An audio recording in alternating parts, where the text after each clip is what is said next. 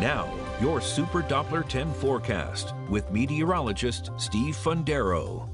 How we doing, folks? We got temperatures in the 30s majority this morning. Kind of a classic late December, almost early January winter morning for us, right? 38 in Norfolk right now. Hampton sitting at 39 degrees. It's 32 out towards Suffolk, though, so we got areas closer to freezing, maybe some patchy frost around. But clouds streaming in, just going to be in and out through the day. We'll get a lot of sunshine for our afternoon, and it's going to be a nice day nonetheless. But these clouds this morning making for this vibrant sunrise, right? The mid to high level clouds act as a projection screen, the longer wavelengths of light from the sun that we normally can't see because they get they don't get scattered uh, from the, the particle, the air particles on the classic afternoon day, they get scattered and projected onto the clouds because those are bigger particles for them to be seen. So we see the darker, the, the bright yellows over uh, uh, through Virginia Beach on Tower Cam 10. We got a couple of the pinks flaring in. So beautiful sunrise on tap. If you snap some photos, send them my way. I'd love to see them. We got a nice day today too, mid 50s for our afternoon with just a couple of the clouds streaming in and out. Weather really remains quiet for the day today,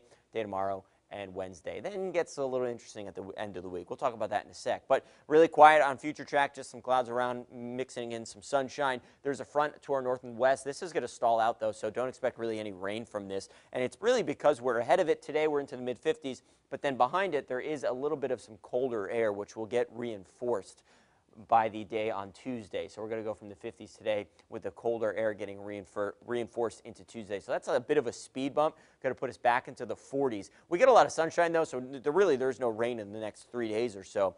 And then we'll see some rebounding with some more sun on Wednesday, a nice day, and then the quick rebound process on New Year's Eve and New Year's Day into the 60s.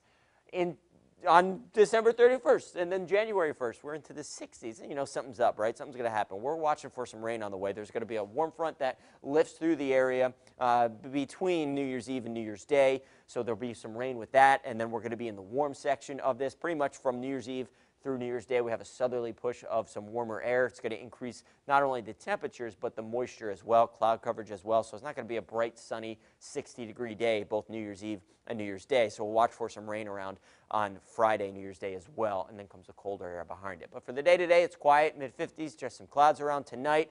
We get rid of some of those clouds, maybe a little bit more of the bright moonlight. Take a look at it uh, as it rises and sets. It's pretty cool. 30s, upper 30s in some spots, and then 40s with some sunshine on Tuesday, and then we'll be into the 50s again on Wednesday.